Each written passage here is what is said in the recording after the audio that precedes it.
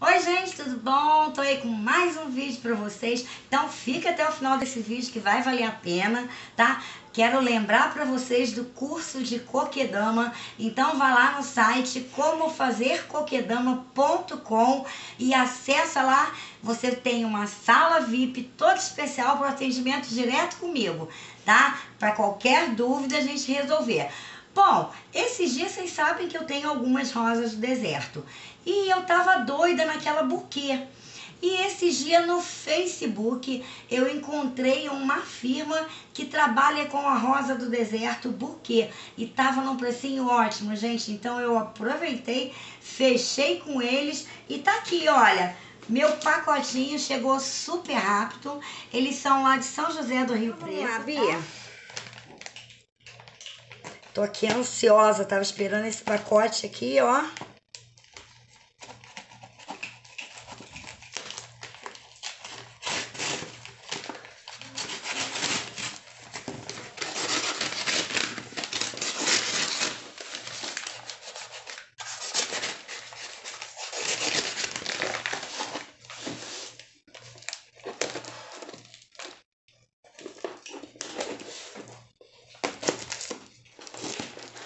Vamos ver o tamanho dessas belezuras, né? Foi um precinho ótimo, vamos ver pelo preço aqui. Ai, gente, pelo jeito elas não são muito pequenininhas não, olha. Porque eu comprei, na verdade, porque eu queria muito o buquê. E eu não tava conseguindo.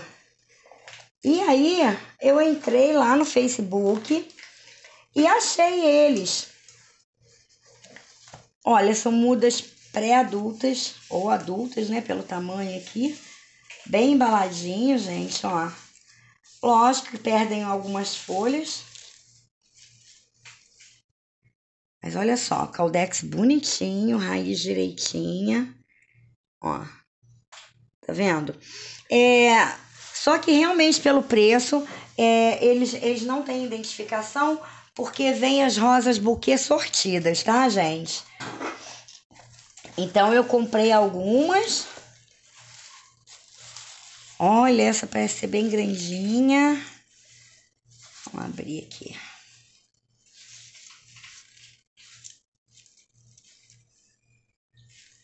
E pelo jeito parece ser enxertada também, ó. Gente, pelo preço, umas mudas muito bonitas. Olha esse caldex bem firmezinho. Ela tá meio murcha, tá, gente? Porque, afinal de contas, tá sem água, né? Mas são mudas super bonitas e saudáveis. Olha só, gente, que coisa mais linda. Muito bonitas mudas. Achei que seriam mudas pequenininhas. Olha, gente. Muito lindinha. Ó, bem saudável. Tá vendo aqui, olha, isso aqui é falta de água esse amolecimento dela aqui. Nada que depois uma reguinha boa não resolva. Olha, gente, veio com um brinde pra mim, olha. Uma, duas, três. Ó. Oh, meu Deus, gente, olha isso. Mal recebi, ainda nem plantei e já tô doido para ver as flores, né, gente? Olha que graça. Todas elas, ó, bem saudáveis, gente, olha. Dá pra gente ver, porque o caldex tá bem íntegro, tá vendo? A gente sabe porque essa parte clarinha que tava dentro do substrato e a verde que tava do lado de fora. Bom, então, gente, então quando uma muda chega, uma, uma rosa deserto chega pelo correio, ela vem com um caldex murchinho, olha. Até porque pelo tempo que ela ficou no correio aí, sem estar tá recebendo nutrientes nem, nem água, tá? Então, o que, que a gente vai fazer? Se tiver folhas, tira.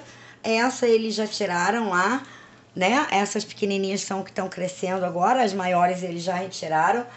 Aqui eu tenho um litro de água, tá? Ó, vou estar tá colocando 12 gotas do Vitagold, tá?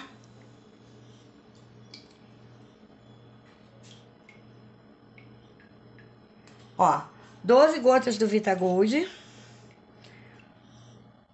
que é o normal que a gente usa também nas orquídeas, tá? Aqui, ó. Tá bom? Que é aquele complexo de pássaros. E vou estar tá aqui colocando elas aqui para dar uma hidratada, tá, gente? Por causa dessas raízes fininhas que elas sofrem muito durante o processo da viagem e que elas são importantíssimas aí para a rosa do deserto na hora do plantio. Então, vou estar tá colocando aqui, ó. Vou trocar esse pote, que esse pote está muito grande para elas. Tá colocando aqui, ó. É um pote daqueles de sorvete, que elas vão ficar mais em pezinhas, mas melhor acomodadas, né? Essa aqui, olha, isso aqui provavelmente é enxerto, tá, gente? Ó. Tá muito bonita.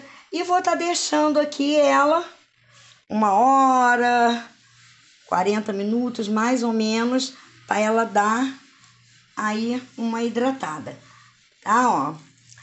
Se fosse o caso de eu ver alguma normalidade nas raízes, ou que eu perceber que pode ter é, algum fungo, alguma coisa, eu teria de colocar uma colher de sopa de cloro, de água sanitária, tá?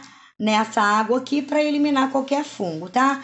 Mas como elas são bem saudáveis, estão bem íntegras, as raízes, o caldex, eu não vou colocar não. Já coloquei direto no Vita Gold aqui, tá? E vou deixar aqui e depois vou plantar e mostro para vocês, tá bom? Então, gente, vou estar tá deixando aí a foto da página dele do Facebook, tá?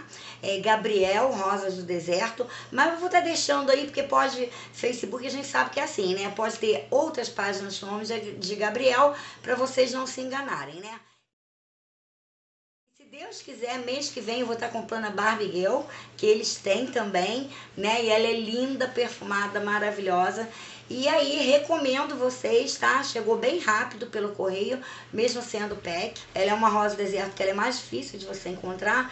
Quando você encontra, às vezes o preço é muito caro né? Essas aí estão num precinho super legal. É, vocês entrem lá no Facebook, dá uma olhadinha lá na página dele, que vocês vão ver que tem umas mudas lá, que tem umas pré-adultas, né? Que já estão prestes a, a, florescer e num precinho excelente, tá? Aqui eu preparei então, um substrato para ela Aqui tem aquele substrato de que eu uso para cacto suculenta, tem casca de arroz carbonizado e um pouco do substrato Carolina, Carolina Soil. É, na verdade, eu não meço muito, não, mas deve ter o quê? Uma medida de Carolina Soil para dois, de, é, uma de arroz carbonizado e duas da, do substrato de cacto, tá? Então ele fica bem soltinho aqui, ó tá? E, e fica bem eirado por causa da casca de arroz carbonizado, né? Então vamos lá, gente. Já que ela já ficou aqui uma hora aí mais ou menos, uma hora e pouquinho de molho, eu vou estar tá vindo aqui, ó. Botei o substrato. Eu não vou botar ela muito fundo. Então aqui, ó. Cachei ela aqui.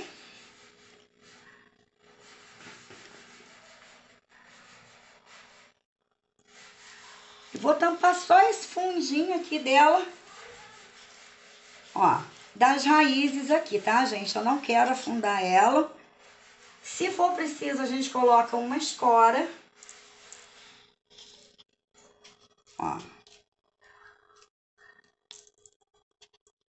Se for preciso, a gente coloca um palitinho. Eu normalmente coloco. Palitinho para escorar até essa raiz começar a fixar aqui. Tá? Vou estar tá replantando todas elas e vou mostrar para vocês, tá bom, bom, gente? Aqui eu amarrei todas elas. Isso dá mais estabilidade na planta, até que essas raízes fixem melhor aqui, tá? É, não enterrei muito o caldex e algumas ficaram com pouco substrato, que meu substrato acabou, a minha mistura, olha. E depois eu vou fazer mais e na hora de, de botar aqui é só levantar, porque eu praticamente só encostei é, esse caldex aqui, tá? O que, que eu vou fazer agora? É, agora eu vou pegar essa água que tava com complexo B e vou dar, ó. Aí a gente aproveita, já testa a drenagem. Olha lá, gente, olha. Na hora, já puxou a água toda. Tá, ó. Então, vamos lá nessa daqui, ó. Puxou rapidinho, olha. Bem drenadinho, olha o vaso, tá vendo? Agora elas não vão pro sol, tá, ó. Olha lá, gente, como tá drenando bem, ó. Na hora ele já, ó, já absorve e desce, tá? Então, é, vou deixar ela num cantinho que não fique no sol agora, tá? Que pegue claridade, mas não pegue o sol. Como ela foi recém-plantada, ela tem um período de adaptação, tá? Ó, já tô aproveitando com isso, lavando essas rosinhas que sujou aqui do substrato, tá? Então é isso, espero que tenha sido útil para vocês aí né? É, o processo de como a gente fazer quando recebe uma muda de rosa do deserto pelo correio, tá? Então espero que vocês tenham gostado.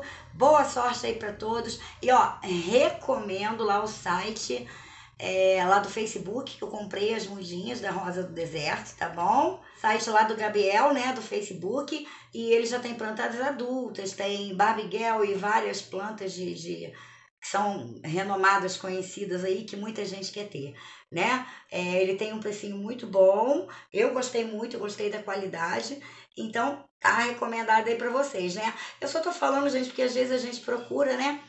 E às vezes você não sabe aonde comprar uma planta de qualidade num precinho legal, que entregue rápido. Então, um grande beijo, fiquem com Deus e até o próximo vídeo.